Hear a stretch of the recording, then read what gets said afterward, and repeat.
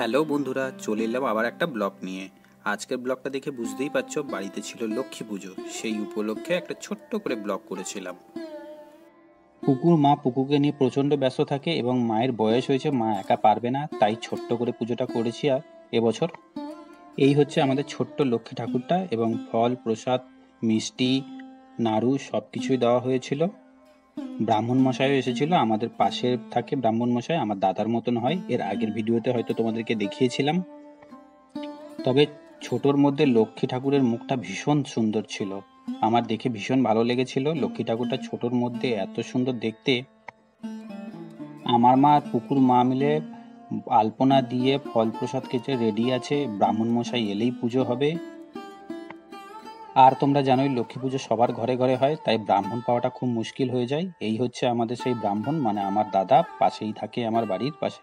লক্ষ্মী পুজো খুব মোটামুটি কমপ্লিটের পথেই। পুজোর ফুল ভিডিও দিতে পারলাম না, কারণ ভিডিওটা অনেক বড় হয়ে যাবে। ভিডিওটা এটুকুনি থাক, দেখা হবে নেক্সট একটা ব্লগে ততক্ষণের জন্য টাটা।